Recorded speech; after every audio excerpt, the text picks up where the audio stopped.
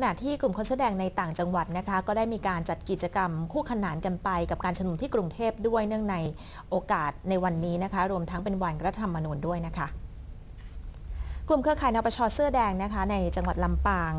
นำโดยพันตำรวจโทการเทียนแก้ว รวมตัวการเคลื่อนไหวเนื่องในวันรัฐธรรมนูญ 10 ธันวาคม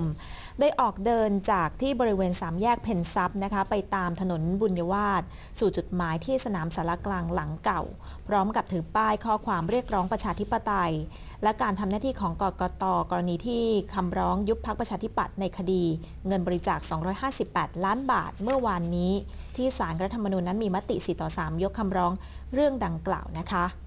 จากนั้นครับกลุ่มคนเสื้อแดงได้ปล่อยลูกโป่งสีแดงที่เป็นสัญลักษณ์ของการทำกิจกรรมครั้งนี้ ซึ่งมีเจ้าหน้าที่ตำรวจมาดูแลความเรียบร้อย การสัญจรไปตลอดเส้นทาง ทั้งนี้ครับพันตำรวจโทการระบุนะครับว่าบทบาทต่อไปของกลุ่มคนเสื้อแดงลำปางจะทำงานเพื่อสังคม และจะดำเนินกิจกรรมภายใต้กรอบของกฎหมาย ส่วนที่จังหวัดฉะเชิงเซานะคะ กลุ่มคนเสื้อแดงก็เตรียมจัดงานระดมทุน เพื่อที่จะเป็นค่าใช้จ่ายในการเคลื่อนไหว แล้วก็จัดกิจกรรมทางการเมือง โดยรูปแบบคาดว่าน่าจะเป็นการเลี้ยงโต๊ะจีน แล้วก็มีการนำเสื้อแดงจากส่วนกลางและจังหวัดใกล้เคียงมาร่วมกันนะคะ โดยกำหนดจัดขึ้นในวันที่ 11 ธันวาคมนี้ที่บริเวณสนามกีฬาสุบิน พิมพยาจันทร์ริมถนนสุวินทวงศ์ตำบลวังตะเคียนอำเภอเมืองจังหวัดฉะเชิงเซาค่ะ